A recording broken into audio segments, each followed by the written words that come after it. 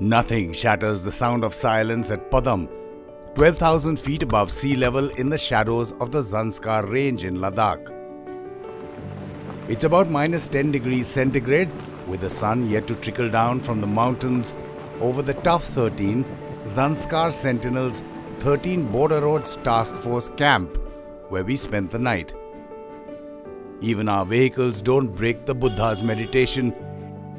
In the town named after Guru Padmasambhava or Rinpoche, believed to be the 8th century founder of Tibetan Buddhism and also known as the second Buddha.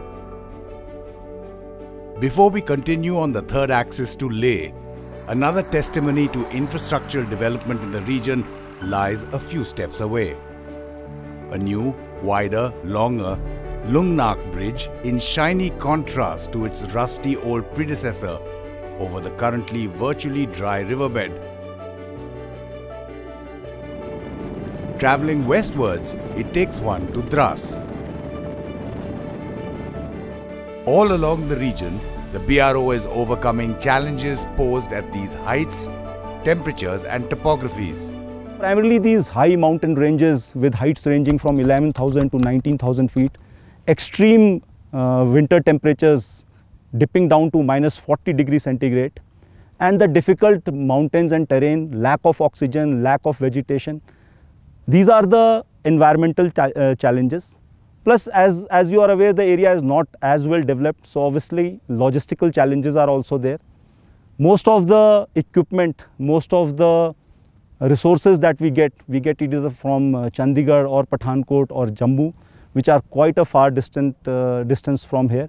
So getting all those stores and resources over here, getting labor over here, all these are various challenges that uh, we are facing for road and infrastructure development. But we are overcoming all these challenges and the output is right in front of your eyes. From Padam northwards, 44 kilometers of the 298 kilometer NPD road till a bit beyond Zangla is black-topped and dual-laned, capable of taking on heavy vehicles. From there, 32 kilometers are currently classified as National Highway Dual Lane NHDL with a width of 7 meters with a blacktopping to be completed. This takes the road past Kilima to Nirak. The approximately 6 kilometer Nirak Chilling stretch is the only part that is still being cut from the mountain rock. With teams working from both sides, it is expected to be through by early summer 2024, completing the NPD road's all-weather, year-round connectivity. At an elevation of 12,037 feet, Padam can be a vital springboard for an altitude-adapted Indian military. This allows for swift troop surges should they be required, along the Chinese held Tibetan border or the LAC, Siachen, and POJK. This strategic advantage is just one of the many reasons why the Nimu Padam Darcha NPD Leh Road, which we are currently traversing, holds such critical importance. Overall, the 298 km NPD road has approximately 148 kilometers of black-topped dual lanes, 84 kilometers of completed NHDL yet to be black-topped, 52 kilometers of NHDL under progress, and about 6 kilometers of the Nirak-Chiling stretch to be hewn out of the mountains. The figures change constantly as the Border Roads Organization BRO makes further progress. Our driver Tirat Kumar is enjoying the high-speed drive, racing the shadows of our own vehicle along the gorgeous sight of the seemingly never-ending ranges on both sides.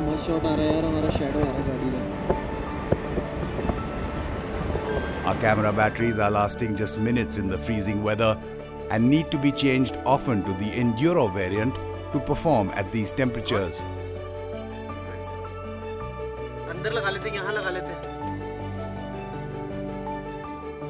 The signs are not all bad for us though. A little less than an hour after Honya on the Zanskar Valley Road near the Zanskar River, we stopped to catch a very rare sighting of a white wolf. We're told catching a glimpse is even more infrequent than seeing a snow leopard. Wolves are usually not seen in the day and definitely not alone, away from the pack at 8:42 in the morning in broad sunlight.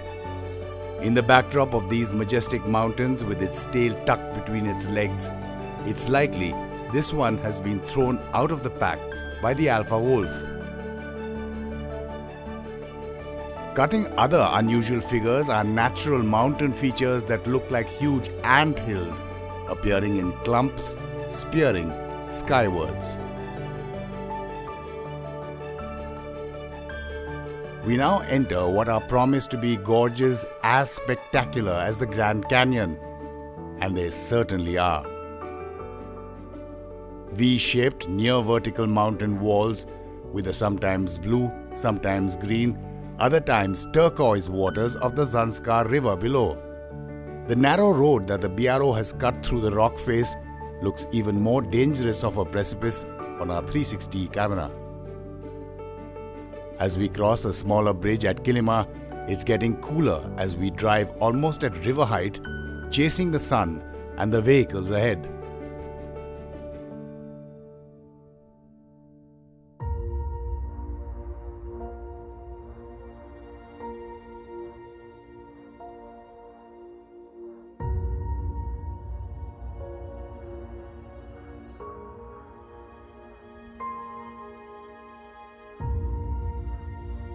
These roads are paved with the sweat, toil, and even blood of many. The dangers of cutting C sections like this through rock, illustrated by the sacrifices made by many, including BRO personnel like engineer Shamsher Singh, who was awarded the Shaurya Chakra after he and his JCB were buried in a rock slide. Sharp spearing dagger like icicles in winter can add to the danger. One can only imagine what it took to cut through this mountain face by looking at the near mirror image of the untouched mountain face on the other side of the river. So all these axes initially from 1960s onwards were primarily op tracks and class 9 axes. Most of these axes have been converted into national highway single lane or national highway double lane. So this not, uh, not just improves the logistic support for the armed forces, also reduces the travel time. Plus, the main stakeholders in all this is not just the armed forces, it's the people of Ladakh. Now all these places are connect, well connected. It will boost tourism also in this area. It will bring lot of development to this area and obviously it will strengthen our borders against our adversaries. In 2023, a narrow, steep, and much longer route through Lingshed was abandoned as the BRO drilled through a safer and shorter route to where we are heading, Nirak. the significance of this location is basically normally you would have seen the Lingshed axis is being followed by the general population here. That axis is around 40 kilometers more in distance and it takes two hours more. So we had thought of uh, getting a shorter axis which is more feasible. So when we started the work it was very difficult but then uh, we had achieved this in 6 to 7 months. Lingshed has been abandoned now mostly people follow this road. It saves a lot of time for them. Uh, now uh, we are happy that uh, locals are also appreciating this uh, road connectivity and in future it is going to be a, a change for them to bring prosperity and progress. And the difficulty of cutting through this kind of rock. Yeah, we have to initially do the recce, identify the uh, uh, path where you have to trace the road and then you do the cutting, formation cutting. So that is followed by blast. Here also you will see the uh, front zone, the mountains are all sloping at 80 to 90 degrees. So even when you have a blast, there is a high probability of ricochets coming. So we have to take permission sanctions. The movement of population, locals have to be stopped totally then we do the blast. So either we do it early morning or we do it late in the evening and the temperatures as it is you see now it is around 5 to minus 5 to minus 6 degrees. So in winters as the it falls it is uh, snowbound at the same time it is minus 15 to minus 20. Uh, the most difficult part if you see in this rock, uh, even if you have uh, removed a portion through blasting, By the time you clear it, next day morning you come back, you'll find that some stones have again fallen back. Another issue is the strata of the rock. If you see, it is all uh, uh, basalt sediments. So when we are working on this after the blast, there is a pro- great probability of having shooting stones. So that was what we had to take care. A lot of equipment damages. Uh, we had to be ensuring that people are also safe. All laborers who are working for us, their safety was paramount for us. So with that as a challenge, we had to work. However, with a uh, proper planning and safety precautions being uh, taken care by the OICs who have been taking care of this job, we've been able to achieve this in a reasonably good time. Lieutenant Colonel Pavan Kumar also tells us about a bridge built up ahead that required the BRO to recce the river despite a very high current and how they unimaginably maneuvered their 20 ton machines in this inhospitable terrain. Colonel Kumar, if you can again just orient us uh, with this bridge and what is its significance? Okay, at this juncture, we are now at kilometer 82. This home bank is Kilima and the far bank is Nirak. So, this is the most critical link between uh, Nirak and Kilima on the Nimu Padam Darcha axis. Uh, you will see that this is a 160 feet double double bridge. It has got a, a load capacity of 18 tons, 18 ton wheeled. And this bridge, since the time we have constructed, the Lingshed axis has been abandoned by the local population. The traffic moves on this, and this has brought a lot of prosperity to the people of uh, Nirak. There is no medical facility, there is no uh, business perspective, and the uh, Chadar trek ends around 300 meters from here. So that is where this link uh, between Nirak and Kilima as this bridge has come as an important uh, critical development for them. Uh, the medical facilities have now improved. They can reach Padam, which is two hours, and there is community health center. So that way, it helps in most of the population getting attention uh, from Padam in terms of uh, medicines, in terms of getting transportation in winters. So, like you were saying, the whole link would be incomplete without, Without this bridge, yeah, correct. Again, if you could explain why. The reason is if you have to go from uh, Nirak side to Padam, you will have to uh, reach an altitude around 11,200 feet, cross that Lingshed axis, and then come down back towards uh, the uh, Padam uh, road. And in winters, when the snow is there, it is not reachable because the slopes don't permit a vehicular movement. It is only by track. So that is why, since the time this bridge has come up, it is a all-weather uh, road which we are looking forward to construct. So this is the most important uh, development. I, I, I, even for a lay person, I can imagine the difficulties and challenges that you went through to complete this. Yeah, you see the terrain on both sides. The far bank slope, we didn't have the place to construct. So we had to reduce that mountain.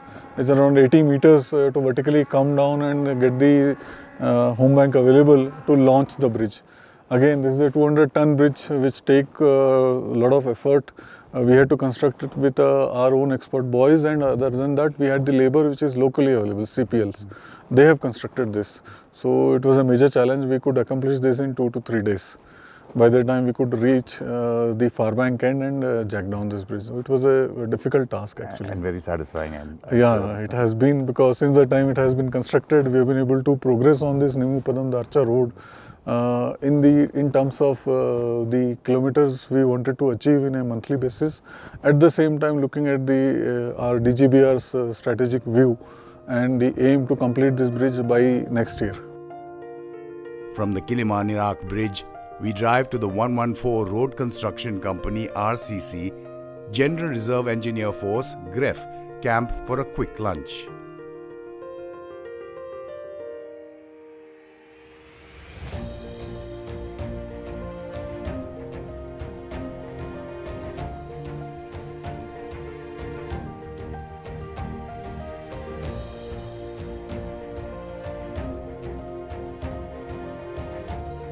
We reach the Nirak stretch of a gorge at 11,811 feet.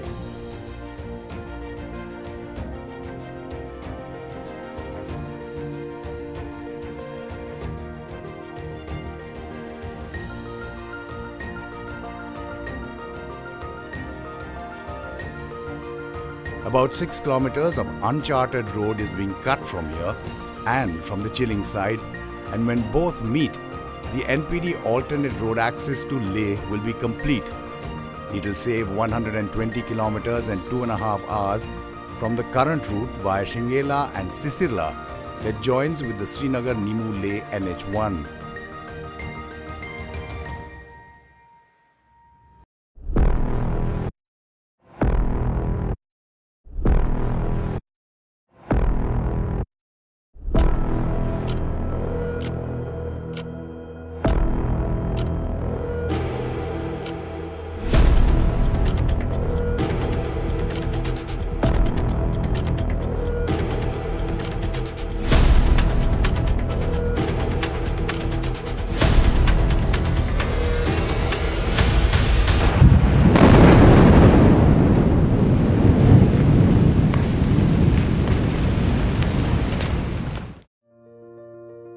Currently, it's a virtual dead end on both sides of Nerak and Chilling as the BRO navigates its way through these mountain faces.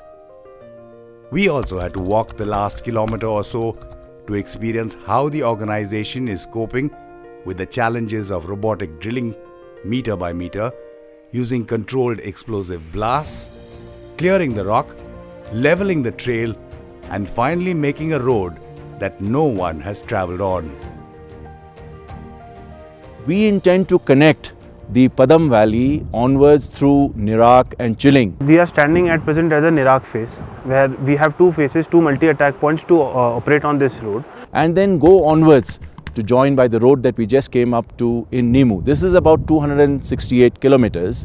And of those 268 kilometers, we are left with a balance of 6.1 kilometers of hard rock, uh, which we are uh, uh, going to ram through in coming days we are planning to move our plants and machineries uh, across the river sir, and we want to open a, another multi-attack point from other side so that we can address these stretches uh, simultaneously and complete it in a given time given to us sir. And uh, we expect that by March we would have uh, established connectivity of the Nimu Padam Darcha and with so many routes connecting we will have much more development laterals and axials developing in this area. The incredible job of among others the casual paid laborers is evident in BRO footage of the work that has already taken place on the Nirak stretch. But like you said, uh, we have a large number of casual paid laborers drawn from uh, various parts of the country. Many times we get the casual paid labor from uh, the local areas itself. And as on date, we are mustering approximately 80,000 casual paid labor. And we find that the personnel that we have, the people behind the machine, they add exponentially to whatever output we have. The cadre strength, like I said, is a unique blend of both the army and border roads personnel. And the army brings with it military discipline, the border roads with their experience and technical acumen bring us technical competence. It's a very, it's a winning combination. Till the Nerak chilling stretch is drilled through and connected by an expected summer 2024 timeline, the route to Leh is from the sandy, dusty track nearly at the bottom of this gorge.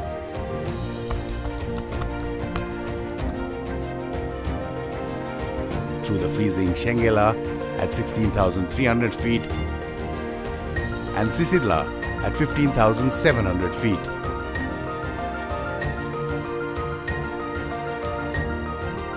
With the light fast fading, we make the final stretch of our journey on the NPD road via Sumdo, Wangla and Langru to hit the Srinagar Kargil Dras NH1 and head via Nimu into Leh.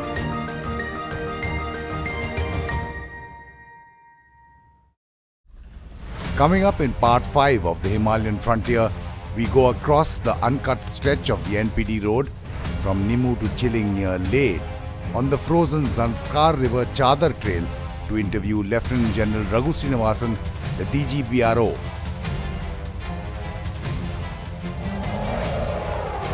The series also documents how the Indian military's women, men and machines are honing their all-weather readiness during another winter against the two-front threat from China and Pakistan.